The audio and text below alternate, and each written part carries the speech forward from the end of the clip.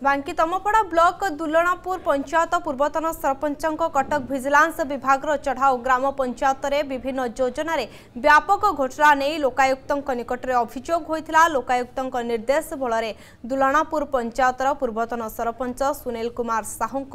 ଦୁଲଣାପୁର ଘରେ ରେଡ୍ ଜାରି ତିନୋଟି ସ୍ଥାନରେ ପୃଥକ ପୃଥକ ସ୍ଥାନରେ ଚାଲିଛି ରେଡ୍